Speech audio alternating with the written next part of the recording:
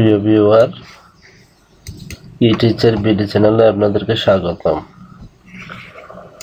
আপনাদেরকে আজকে আমি দেখাবো, এই যে বাংলা লেখা ঠিক মতো দেখা যাচ্ছে না, এর সমাধান। গুগল ক্রোমে অনেক সময় বাংলা লেখা ঠিক মতো দেখা যায় না। ফলে আমাদের পড়তে অনেক কষ্ট হয়। এই সমস্যা সমাধানের জন্য আমরা যা করব, একটু দেখেন। সর্বপ্রথম গুগল ক্রোমে ডান পাশে উপরে থ্রি ডটওয়ালা এই আইকনটিতে ক্লিক করবেন। এরপর সেটিংসে ক্লিক করবেন, সেটিংস।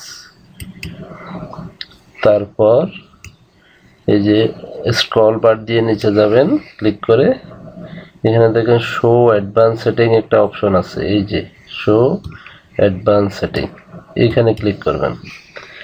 ক্লিক করে আরেকটু স্ক্রল বার দিয়ে আস্তে আস্তে নিচের দিকে যাবেন। যাওয়ার পর এখানে দেখবেন কাস্টমাইজ ফ্রন্ট নামে একটা বাটন আছে।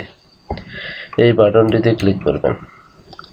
ক্লিক করার পর এখানে দেখবেন যে অনেকগুলা ফ্রন্টের নাম দেওয়া আছে বিভিন্ন বিভিন্ন জায়গায়। এই যে standard font sub serif font sans serif font fixed with font এই যে ফ্রন্টগুলোকে সব যে কোনো একটা বাংলা ফ্রন্ট করে দিবেন। আমি কালপুরুষ করে দিচ্ছি। কালপুরুষ একটা সুন্দর বাংলা ফ্রন্ট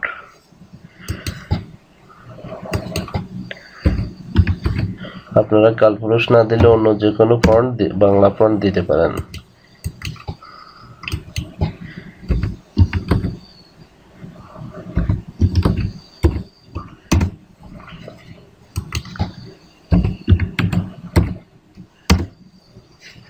এরপর স্ক্রল বার চাপ দিয়ে ধরে নিচের দিকে যান।